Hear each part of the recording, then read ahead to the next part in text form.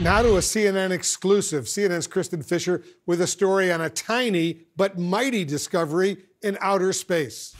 Go, go. Sitting on top of this SpaceX rocket when it launched in January was the first surgical robot bound for outer space. So Mira is a, a small surgical robot. Mira, made by a company called Virtual Incision, arrived at the International Space Station in February, and on Saturday, it did something that's never been done before. Saturday was the first time that a surgical robot in space was controlled by surgeons on Earth to perform simulated surgical activities. Virtual Incision provided CNN with exclusive video as six surgeons at the company's headquarters in Lincoln, Nebraska, took turns operating the robot after it was powered up by NASA astronauts roughly 250 miles above. The adrenaline was pumping, and you know I could feel my my heart pounding.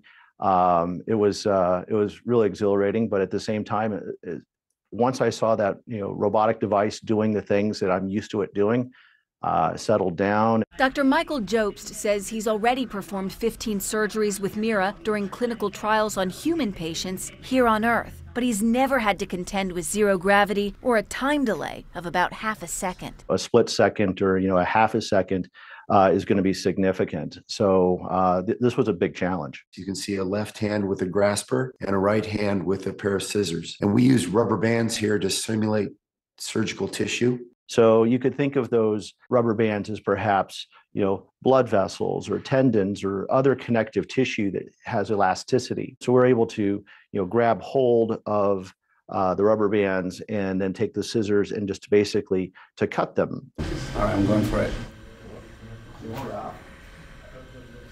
Yeah. One small rubber band, but a great leap for surgery. Yeah. Now, in addition to someday performing remote surgeries on people in space, they also want to use this type of technology here on Earth in places where it might not be too easy to find a surgeon.